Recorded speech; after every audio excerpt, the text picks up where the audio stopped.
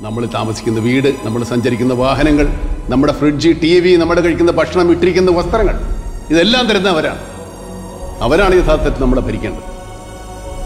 നമ്മളെ കാണുമ്പോൾ അവരല്ല. അവരെ കാണുമ്പോൾ നമ്മളാണ് സാർ എഴുന്നേറ്റ് നിൽക്കേണ്ടത്.